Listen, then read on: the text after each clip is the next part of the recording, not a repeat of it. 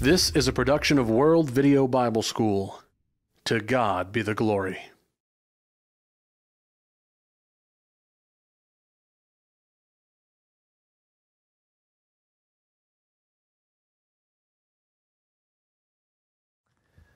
For the grace of God has appeared, bringing salvation to all men, instructing us to deny ungodliness and worldly desires and to live sensibly, righteously, and godly in the present age, looking for the blessed hope and the appearing of the glory of our great God and Savior, Christ Jesus who gave Himself for us to redeem us from every lawless deed and to purify for Himself a people for His own possession, zealous for good works.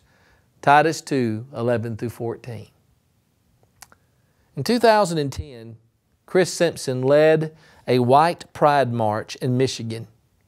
In 2012, he left the white supremacy movement that he had been involved in for most of his uh, adult life. Chris saw the movie Courageous, and he was convicted that the emptiness in his life could not be filled by hate, but only by Christ. Five days after being baptized, Chris was in a skin and vein clinic to start the painful process of removing his Nazi and white pride tattoos. He has 42 of them, and it may take years for him to complete that process.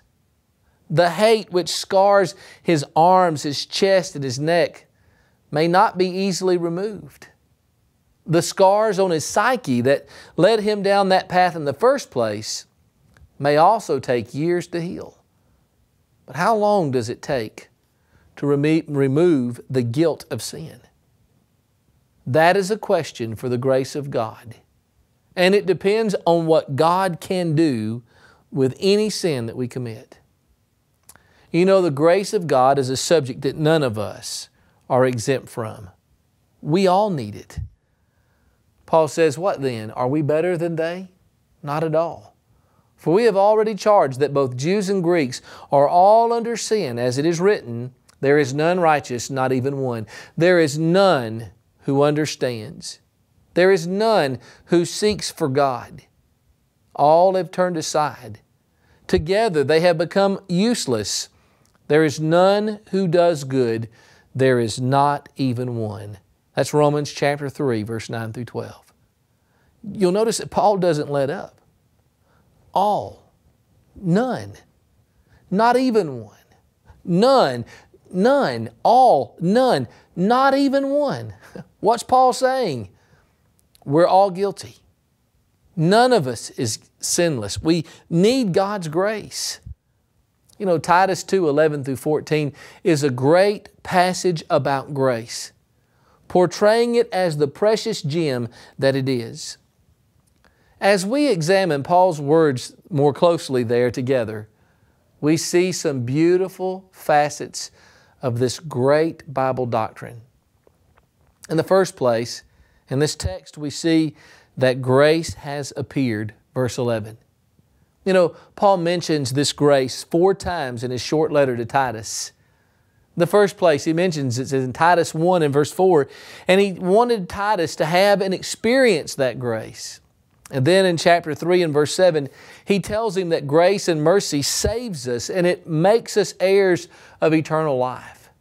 And then in chapter 3 and verse 15, he expresses his desire that grace be extended to all the Cretan Christians and so, in a letter that begins and ends with grace, Paul celebrates the appearance of grace.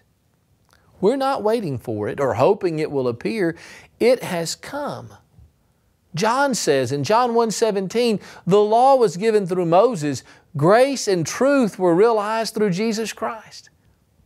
When Jesus appeared on this earth, grace became tangible and visible. Paul makes this statement as motivation for the groups of people that he addresses within the church to be obedient. Obedient to the commands to conduct themselves as he says. Why should older men and older women and younger women and younger men and bondservants act as Paul tells them? Because God's grace has appeared. Now we're going to come back to that in a moment. But the point is that there's no motivation for us to be obedient to God if grace has not appeared. But because grace has appeared, I want to serve and to follow God. What a gesture of love for God to see my need before I was even born and to meet that need by giving His Son to die in my place. It's funny, two businessmen were traveling to Atlanta, Georgia, and one of them had never been to the South before. They stopped at a restaurant for breakfast. And when their meal came, the man who had never been to the South saw this white, mushy stuff on his plate. He asked the waitress what it was, and she said, grits. And he replied, Ma'am, I didn't order that, and I'm not paying for it. And she replied, Sir, down here you don't order it and you don't pay for it, you just get it. Well, that's how Paul describes grace in this passage. We didn't order it, and we certainly couldn't pay for it, but thanks be to God, we got it. Grace has appeared. That's what Paul says in Titus 2 and verse 11. But as we look at that great text, we second see that grace is available. That's also in verse 11. I saw a slogan on the side of a plumber's van and it read, There is no place too deep, too dark, or too dirty for us to handle. To me, that's a wonderful explanation of the gospel. No place too deep, too dark, or too dirty. God's grace has brought salvation to all men. He has brought it to the immoral, like those described in uh, Romans 1 18 through 32 by Paul. Everything you can imagine was done by those people in Romans chapter 1. He has brought it to those like the moral, like those described by Paul in Romans chapter 2, verse 1 through 6 and he has brought it to the religious, like those described by Paul in Romans chapter 2, verse 17 through chapter 3 and verse 18. Do you see what that indicates? It doesn't matter who you are, immoral, moral, or religious, you need God's grace. And certainly, while it's better to be moral and religious than immoral, when compared to a holy God, all of us are miserable sinners in need of grace. The Empire State Building is much taller than the FedEx building that's right next to it. But which is closer to the moon? Well, I guess technically the Empire State Building is 1,250 feet closer, but how much does that matter from 240,000 miles away? Isaiah said, Behold, the Lord's hand is not so short that it cannot save, nor his ear so dull that it cannot hear. But your iniquities have made a separation between you and your God, and your sins have hidden his face from you, so that he does not hear. Isaiah 59, 1 and 2. Friends, God's grace is available to you if you have a horribly sinful past. You may have convinced yourself that you have been too bad for too long for God to save you? Well, I think about Paul. Paul says it is a trustworthy statement, deserving full acceptance, that Christ Jesus came into the world to save sinners, among whom Paul says, I am foremost of all. Yet for this reason I found mercy so that in me, as the foremost, Jesus Christ might demonstrate His perfect patience as an example for those who would believe in Him for eternal life. 1 Timothy 1 15 and 16. How many times does Paul point to his past and then point to God's grace in helping him to overcome it? 1 Corinthians 15, 9 and 10. He says, I'm the least of the apostles who am not meet to be called an apostle because I persecuted the church of God. 1 Corinthians 15, 9 and 10. Ephesians 3, 7 and 8. He points to the great sinfulness of his life and his past and how God could work with him despite that. You know, God's grace can immediately forgive your past and ultimately help you overcome it. God's grace can help you if you've got a woefully sinful past. God's grace is also available to you if you are struggling with sins in your life right now. Maybe it's a sinful habit or an addiction. Or maybe you know that you're in a sinful relationship. Maybe it's a sinful attitude or you constantly fight the battle of the tongue. Paul said he was suffering with a thorn in the flesh, and Scripture doesn't tell us what it was. But whether it was a physical infirmity or a spiritual struggle, the answer would have been the same. My grace is sufficient for you. There it is. 2 Corinthians 12, verse 7. God's grace. That does not mean that He will take the struggle away. But He will provide an escape route every time, whatever it is that you're dealing with. Paul says, that uh, no temptation has taken you but that which is common to man. But God is faithful, who will not allow you to be tempted above what you are able, but will, with the temptation, provide a means of escape that you may be able to bear it. 1 Corinthians 10 13. Furthermore, God's grace is available to you if you are a good Christian trying to live the Christian life. We continue to sin as Christians, a point that John makes clear in 1 John 1 8 through 10. Most of us would confess to sins of thoughts, words, and actions nearly every day. But we also need grace in other areas. We need grace even for hidden faults. Psalm 19 and verse 12. What are, what are those? Well, they may be sins that we commit that others don't know of. Maybe it's hatred or, or lust that we harbor in our hearts. They may be sins that we commit that we don't know of. What if we offend somebody and hurt them and they don't tell us about it so we don't know? They may be sins that we commit that are not known to us or others, but that are known to God. What about a failure to do what God commands or the neglect of an opportunity? That's the beauty of walking in the light of Christ. His blood continually cleanses us. 1 John 1 and verse 7. Friend, God's grace will be available to you as long as you live on this earth. You don't face a future battle that is outside the scope of God's grace to help you overcome it. Grace is not a license to sin. Romans 6, 1 and 2 says, What shall we say then? Shall we continue in sin that grace may abound? God forbid. How shall we who died to sin live any longer therein? but neither does it teach that God's grace is exhaustible or limited to those who are striving to walk in the light. It's available to everyone. He has not dealt with us according to our sins, nor rewarded us according to our iniquities. Psalm 103 and verse 12.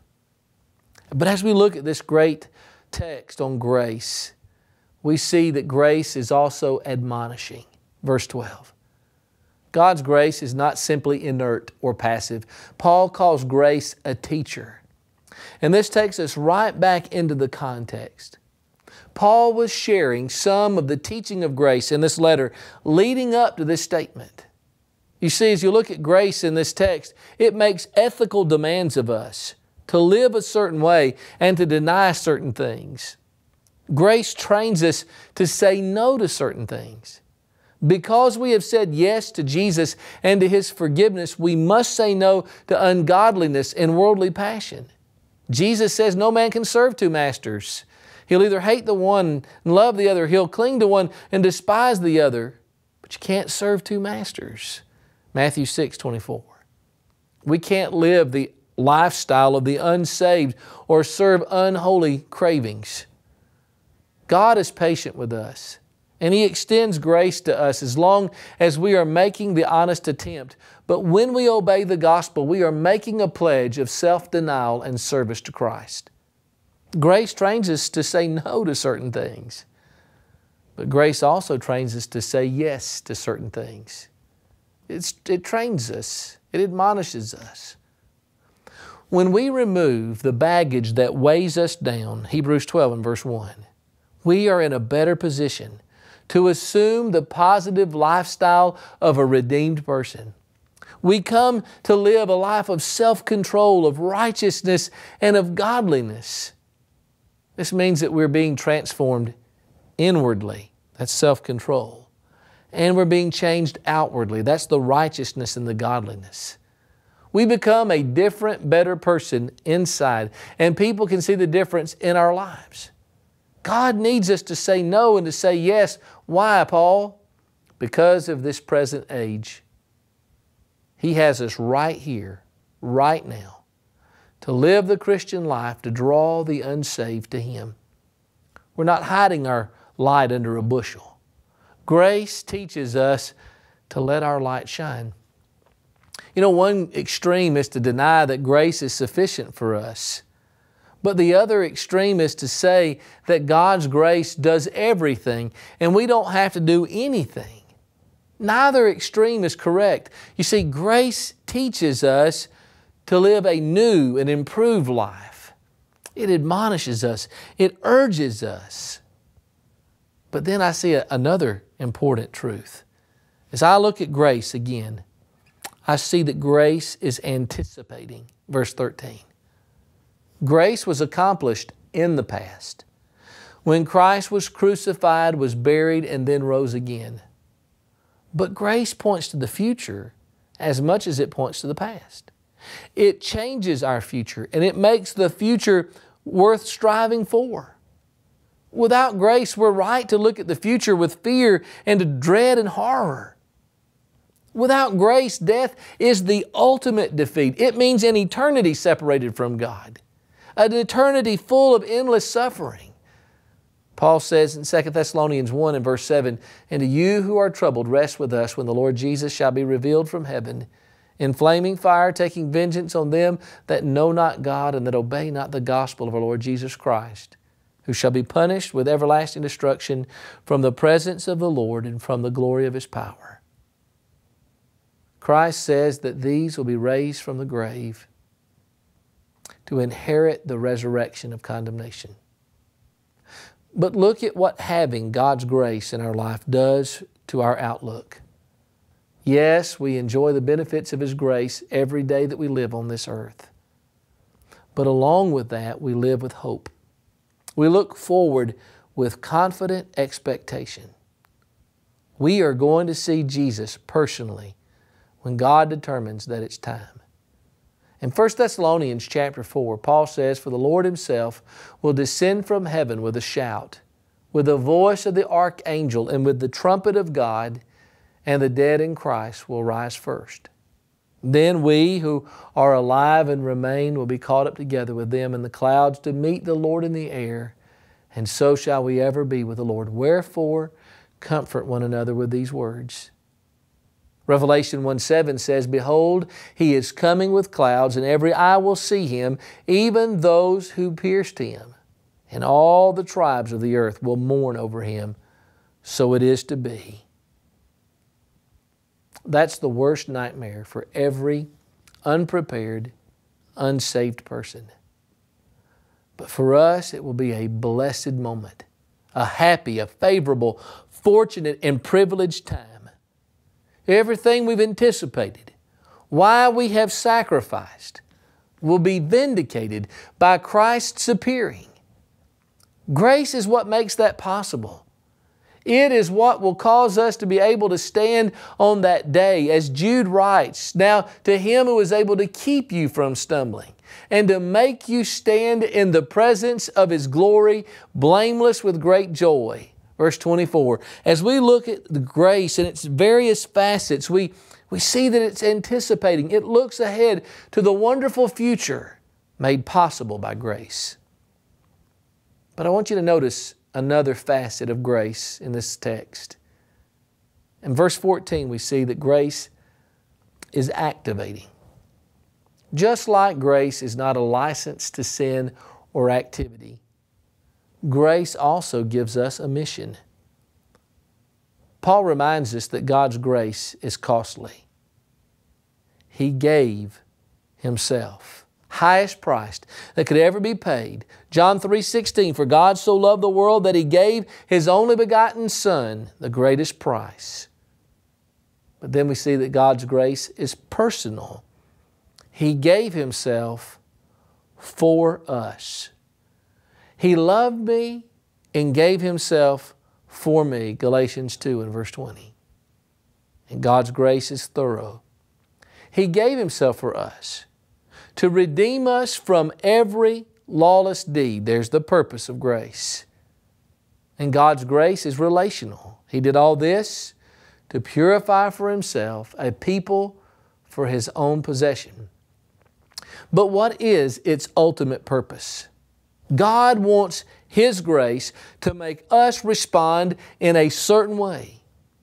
Here's a test of your spiritual health, a, a heavenly checkup. In view of what Jesus did for you, how do you feel? Do you take His grace for granted or feel entitled? Do you even think about it? And does it influence how you live and what you do every day? Paul tells us what our response should be to be zealous for good deeds. If every one of us got a hold of this, here is what is likely to happen. This is what we could anticipate. Church buildings, worshiping God in spirit and truth, would be full on Sunday morning, Sunday night, Wednesday night, all during the week perhaps. There'd be more Bible studies going on in our society than we could get to. And the baptistry would be uh, constantly occupied and the water stirred. Every community would be full of people who knew Christians by fruitful faith. Sign up sheets and solicitations for volunteers to teach Bible classes, to provide transportation needs for the needy, to visit the sick and the shut in, to embrace and to welcome our visitors would not just visibly change, they would disappear. They wouldn't be needed. We'd be so on fire that people from all around the world would come to watch us burn. In other words, we'd look a lot like the early church, whose good deeds came because they truly understood the power of God and the power of grace in their lives. Think about this. 1 Peter chapter 1 and verse 3. The Bible says that the God had begotten those folks again unto a living hope by the resurrection of Jesus Christ from the dead. That living hope caused them to do all that they could to spread the gospel message wherever they went. They endured privation, they endured persecution, they endured personal loss so that the gospel could go forward. In 1 Peter chapter 1, you, you have a passage about persecution, people who were living for Christ who suffered loss. But they kept sharing the good news even in those adverse situations because they experienced the power of grace in their lives. Acts 4:33 says that abundant grace was upon them all. If we get a hold of grace, we will be like they were. I'm thankful that grace is for the young and it helps them to outlive bad choices and decisions. I'm thankful that grace is for those of us in the prime of life who at times abuse our position and influence. I'm thankful that grace is for the elderly who look back over a lifetime involving regrets and missed opportunity. Now, as we have looked at grace, we have looked at five different facets of it. I want you to think of grace as like a, a, a jewel, a, diamond, something of, of, of rare and precious value that has these different facets, pure and without flaw as you look at it from every angle, under any kind of light and circumstances, grace is that perfect jewel. Its facets all work together to make it the beautiful thing that it is. It's been said that grace is everything for nothing to those who don't deserve anything. Imagine God sent you to a foreign land to preach the gospel and you met a leper. And suppose God told you, embrace him and kiss him on the cheek. You look at him and you see a deformed face that's eaten away with disease. And you think, Lord, you've got to be kidding. I could never do that. Most of us would find that difficult.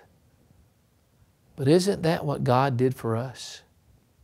Alas, sinful nation, people weighed down with iniquity, offspring of evildoers, sons who act corruptly. They have abandoned the Lord.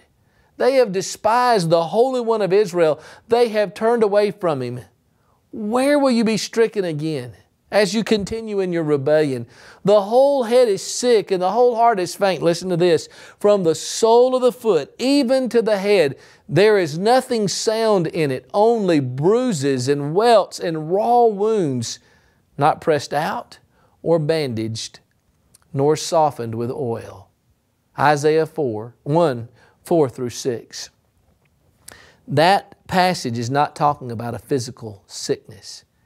It's talking about a spiritual illness, one that only God could cure, one that was incurred because of their behavior, because of their response to God. Sin is ugly. It's a sickness that leads to spiritual death and eternal separation. But I'm so thankful that Jesus once said, They that are well or whole need not a physician, but they that are sick. Jesus offers himself as the great physician. As the old timers used to say, he's never lost a case. To one who comes to him seeking healing, God's always able through his Son to succeed in that. That's grace. And may we find it, embrace it, and respond to it in obedience.